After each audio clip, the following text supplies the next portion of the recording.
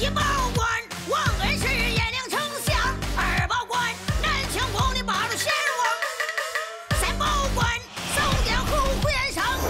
四报官，杨兆头干过忠良。此来凶案重地，不可擅闯，我们有令牌，请大人恕罪。哎呀，这令牌还是太管用了。这个好使啊！这不就是金人的房间吗？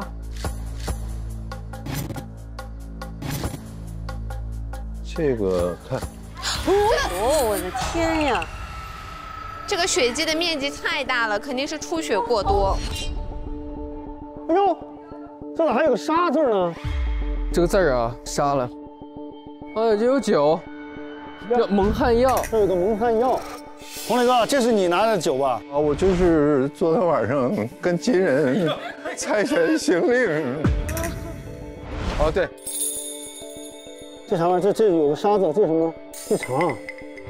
我呢，只是想推销一下我的茶。这个字儿啊，啥？哟，迷魂香。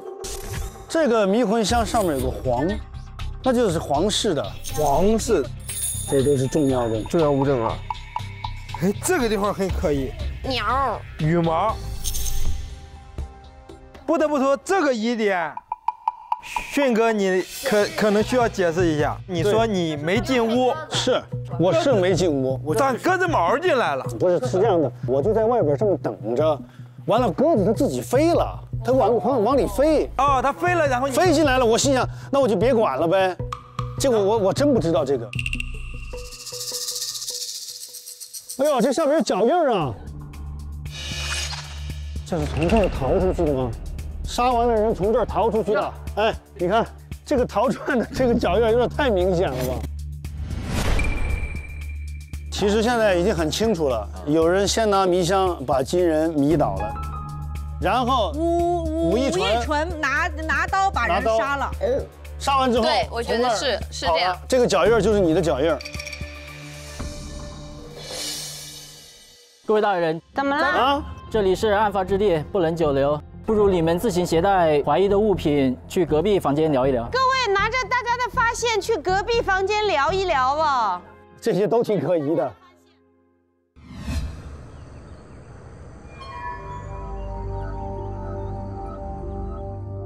我们现在把发现的这个线索，大家来分别讲一讲。谢胖儿，因为你是给金人送茶去的，，对，你们注意观察这茶杯，杯身上有什么？蒙汗药。金人是喝了这杯茶，可能睡过去的。为什么我要去找金人呢？嗯，因为原本他们不是要开一个这样的那个宴会吗？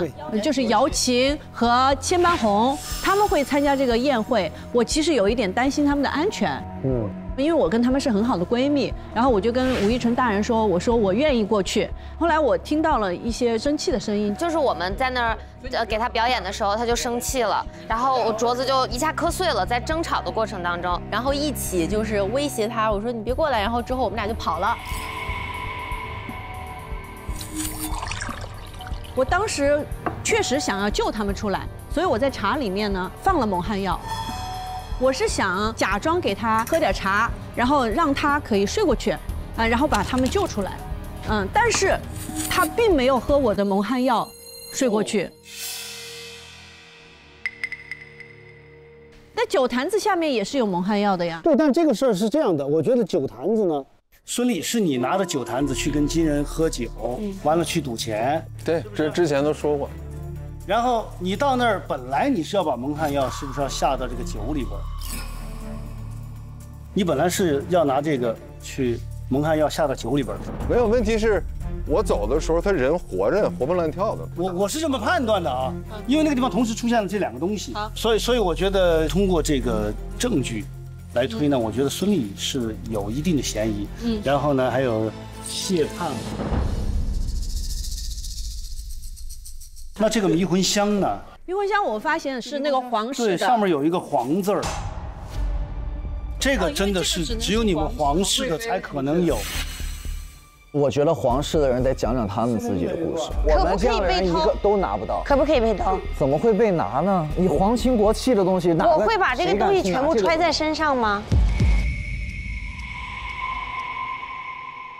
我说我发现的线索，我首先一个疑点，因为上一轮的屋里发现了黑鸽子的羽毛嘛，对，那就说明那个鸽子肯定是进屋了。是，进屋了，那你到底我是没进去。那你鸽子进去了，你都不想把这鸽子弄出来？本来就是送给金人的，鸽子都进去了，那就让它在里边玩儿呗。你来了个礼到人不到。我本来想着等着里边人出来之后，我再进去，里边一直在有有人。我这有一个，就是这个棒签，这个是在进门右右边的门口。谁吃的？我确实吃了，那你就进进过门。我没进去。那怎么会在里面？我不知道，他又给扔进去了。在外面吃完把东西我是在扔我是在厨房吃的。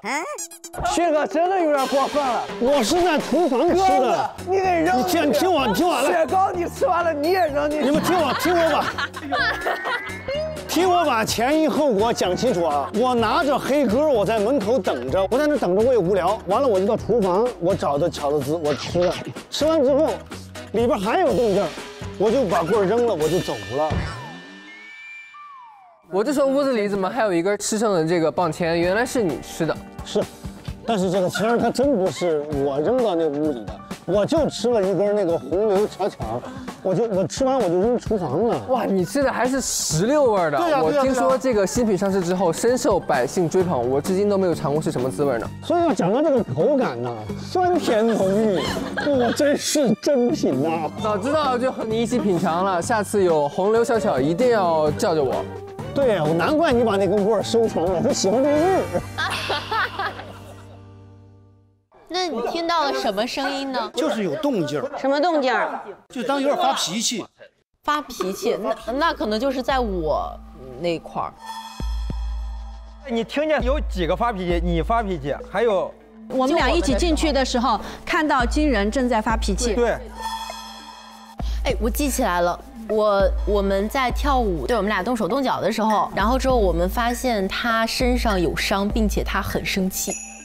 嗯，发现他身上对他身上有很明显的伤。我觉得我的时间线应应该是在娜姐之前的，因为你们进去的时候，她不是在发脾气嘛，对，她就留了一封信给我，她说要拉我入伙。我那天呢是第一个去的，然后金人就给我留了一封信，说特别欣赏我，就想拉我跳槽。我就说我一定不会去金人那边，然后他生气了，他生气，他辱骂我，然后我就生气了，我把他打了一顿，我就走了。都生气了，感情。金人这一晚上就生气，今天这一晚上没干别的，没有被蒙汗药蒙光生气了就生气。他被我打了，他生气啊，很合理，这这一晚上闷气。咱咱现在盘下盘时间，翟应该是第一波，我应该是第一个，小翟之后是你俩对吧？然后我俩就就去了，我们就去了。我正好去的时候，正巧碰到孙俪被赶出来了，然后你看到了他，然后我没有看到他。我看到了酒壶和几个酒杯，但是我没有看到鸽子。那孙俪有看到鸽子吗？没有，他没看到鸽子。也就是说，迅哥的时间线是不对的。那迅哥有谎言。下一个，呃，你不确定是在黄子韬前还是黄子韬后？首先，我那天我确实来了，来了以后我敲了门了，因为他我怀疑他偷了我的东西，我没有进去的，我就隔着墙壁跟他讲话的。他说他睡了，然后让我明天再来，然后他回复你了。对，然后我就走了。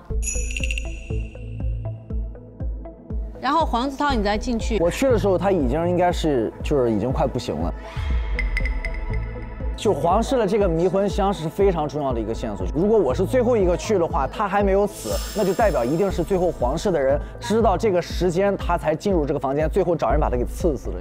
有一个人的故事线一定是掺杂了一些谎言在里面的，我觉得，尤其是皇亲国戚的。我告诉你，现在肯定不是一个人有谎言，肯定很多人都有谎言。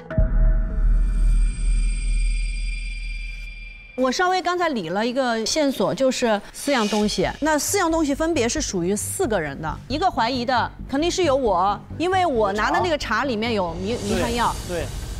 还有另外一个怀疑的是孙俪，嗯，因为她酒下面有迷迷魂药。还有一个怀疑的是皇家的，呃，武贵妃。吴一纯也是脱不开干系。按那个那么多血的情况下，我感觉不太可能是这个簪子去，就是刀啊，应该是刀，肯定是那那个刀刀就肯定指向了武一纯，就是床的那个地方有很多血迹，那个脚印只有从那个窗子进来，只有这一溜脚印的是一个人。他只做了这件事情，就是可能是杀这个金人，或者是干什么，啊。然后第二个，因为我们走的时候他已经喝了蒙汗药了，所以给蒙汗药的人一定是另外一个人。今天说找不着找密信吗？信丢了，那就证明是，如果有可能的话，蒙汗药一个人，杀杀金人的一个人，偷信的，偷信的一个人。三个人。如果我没猜错的话，三个人。